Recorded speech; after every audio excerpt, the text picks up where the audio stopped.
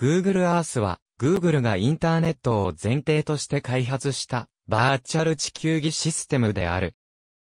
世界中の衛星写真をまるで地球儀を回しているかのように閲覧することができる。クライアントソフトウェアは2005年6月28日から無料配布が開始された。このバーチャル地球儀システムのアイデア自体は Google が生み出したものではなく、メディアアート作品の制作会社であるアートコムが1994年に商業目的でテロビジョンとしてアイデアを考案、システムを開発し、特許まで取得していたものである。1994年にアートコムで ATM による専用回線と当時世界最高の性能を叩き出していた CG ワークステーションである SGI オニキスを用いてテロビジョンの開発を行っていたエンジニアが Google に移籍し、インターネットとパソコンを用いて Google Earth の開発を開始した経緯がある。この際に Google がアートコムに対して特許料を支払わずに勝手に商業展開を行ったため、アートコムからテロビジョンに関する特許権侵害による訴訟を起こされている。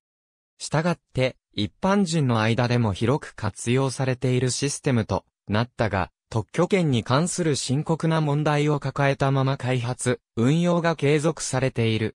Google Earth は地域により異なるが、基本的には地球全域はアースサット社の衛星写真を用いている。北米の一部では、パブリックドメインな衛星写真を用い、その他の領域においては、衛星写真販売各社の衛星写真を用いている。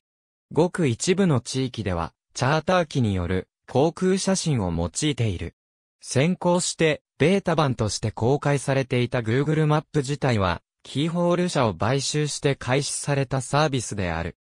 このため、Google Earth から直接アクセスできる Google Earth BBS も keyhole.com ドメインとなっている。当初は Google マップと同じだった地点の画像も Google Earth では細かく見えるよう画像が差し替えられている部分がある。地球全土の解像度や色彩は一様ではなく画像が撮影された時期もまちまちである。標準的な解像度は15メートルであるが、大都市や興味深い施設などでは、解像度1メートルの高解像度画像が使われている。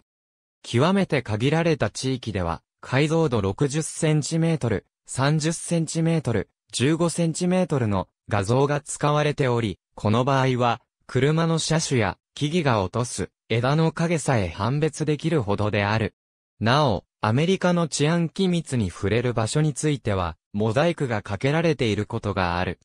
日本近辺では当初東京都や横浜市などの大都市部が高解像度であった。台湾、台北、北朝鮮、ヨンビョンの各施設近辺も高解像度であった。2005年8月にニューオリンズ近辺で発生したハリケーンカトリーナ、被害のため、該当地域を閲覧するためのサーバが特別に用意され、起動時にどのサーバを閲覧するかを選択できるようになっていた。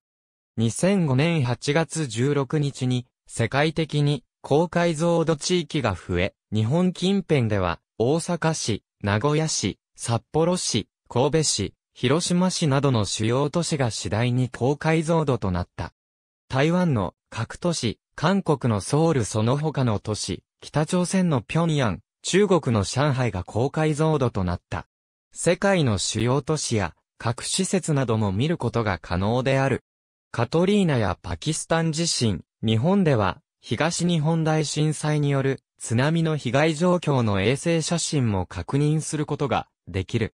2006年1月10日に MacOS 10に対応したバージョンが公開された。2006年2月にアメリカでは Google Earth と連携したカーナビがフォルクスワーゲンより発表された。2008年10月27日、iPhone や iPod Touch などの iOS に対応した Google Earth for iPhone を公開した。2010年2月22日には、同社が提供する Android 2.1以上に対応したバージョンを公開した。2010年4月27日に Google マップ上で Google Earth の 3DCG を表示できるプラグインが公開された。Google Earth 4ベータ版のアップデートにより日本語に対応した。また、日本のスポット情報が提供されるようになったほか、簡単な 3D ポリゴン表示も利用できるようになった。Google Earth 語では、海中を表示したり、航空写真を時代を遡って表示したり、ツアーを録画することが可能である。火星を表示するモードも利用できる。Google Earth 6からは、検索機能の強化、Google との統合、樹木の 3D 表示、航空画像のシームレスな表示などの機能が追加された。またストリートビューが、レイヤから廃止され、Google マップのように、ペグマンをドラッグして、シームレスにストリートビューに切り替わるように変更された。2017年7月11日に公開された Google Earth 7.3.0よりプロ版に一本化された。タイムラインで示した KML と Google Earth の履歴研究機関、教育機関向けのプロスペック版だったが、2015年1月より無料のライセンスキーを取得し一般が向けに利用可能となった。Windows、MacOS X 10.8以降、Linux で利用可能。2008年12月に廃止された。有料版のプラスでは次のような機能が付加されていた。料金は年間20米ドルでクレジットカード決済のみ。2017年4月18日に公開された。ウェブ版 Google Earth は Web ブラウザで 2D、3DCG を表示するための標準 JavaScript API である WebGL で実装されている。初期の Web 版は Google ネイティブクライアントを使用していたため、対象ブラウザは Google Chrome に限定されていた。試験運用版として、2019年6月から NACL から WebSembly へ移行したバージョンが提供開始された。ただし、試験版公開の時点では、Firefox や Opera 上では、シングルスレッド動作に制限されていたために、サポート対象外とされていた。その後、2020年2月27日に公開されたバージョンで、マイクロソフトエッジ、Firefox、Opera も対象ブラウザに追加された。2021年3月現在、サファリはサポートされていないが、Google はサファリの対応も進めるとしている。ウェブブラウザ上で Google Earth を動作させるプラグイン。2017年1月11日に廃止された。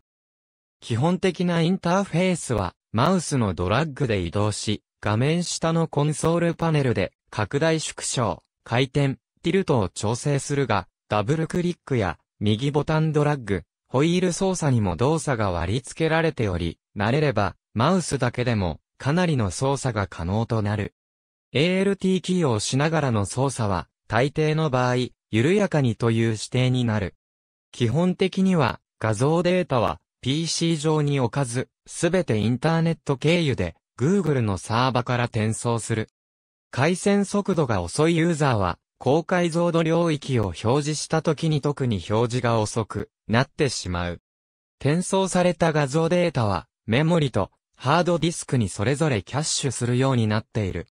描画エンジンには、オープングルとディレクテックスを選択することができる。多彩なオプションが用意されており、カスタマイズができる。国境線を線で表示できるほか、多様なオプション表示が選択可能である。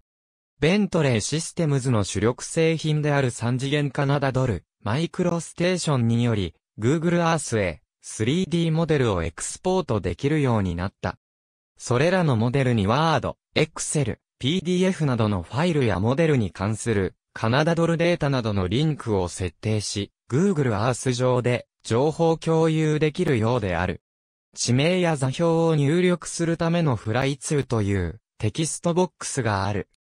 地名などを検索する機能があるが、予想通りの動作をしないことがあるため、日本人にとっては使いにくいものとなってしまっている。綴りのミスも散見される。地図が手元にあり、座標が分かっていれば、のような指定法も可能である。Google マップの座標を Google Earth で閲覧するためには、URL の一部をコピーして、Google Earth のフライ2に貼り付ける方法が手っ取り早い。具体的には URL 中の LL イコールに続く数字をコピーし、フライ2に貼り付ける。2019年現在、日本語による住所検索に対応している。指定された住所を入力すればその付近へ移動する。Google Earth では、プレイスマークを置いてその上で、セーブ操作を行うと、KML ファイル、または KMZ ファイルをローカルに保存できる。これを Web ページにアップロードして、ユーザーにダウンロードさせるという手法が取れる。Google Earth がインストールされていれば、拡張子、KML と KMZ ファイルは Google Earth に関連付けがなされるため、非常に便利である。地点を連続して移動するツアー機能がある。2013年以降は、建物やその他オブジェクト類の 3D モデル制作がコンピュータによって自動化されている。そのため現在は手作業による制作物の公開はできなくなっている。それまで提供されていた制作ツールは以下となる。バイナリは無料版と共通であり、インストール先のディレクトリ名がプラスになっているため、混乱するユーザーも散見されるが、課金の手続きを踏まなければ、プラス版にはならない。閲覧にとどめ、付加機能を利用しないのであれば、無料のまま使い続けることができる。Earth Studio は、Google Earth の衛星画像と 3D 画像を使った、ブラウザベースのアニメーションツールである。3D 都市の建物の静止画や動画、航空写真などを作成することができる。 Earth Studio の機能は、他の業界標準アニメーションツール同様に、キーフレーム編集機能を使用しており、3D 画像を、ズームイン、または、ズームアウト、オブジェクトを撮影したり、オブジェクトから別のオブジェクトに移動して、撮影を行う。クックスタート機能は、5つの好みのテンプレートを選択し、位置、回転、移動速度、視点間ジャンプを設定することにより簡単に動画が作成でき、カスタム機能で太陽の位置やカメラの視野などの効果設定も可能である。また、編集時に地図のラベルやピンを追加し、Adobe After Effects へのエクスポートにも対応する。レンダリングされたビデオをエクスポートするのではなく、すべてのフレームを JPEG 形式でエクスポートするので、画像処理ソフトウェアなどで動画ファイルに加工する必要がある。Earth Studio はニュース、研究、教育、非営利目的で無料で使用できるが、使用の際は Google アカウントでアクセス権を取得する必要がある。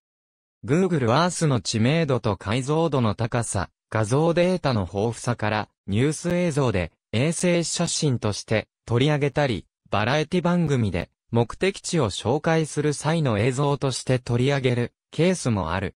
ありがとうございます。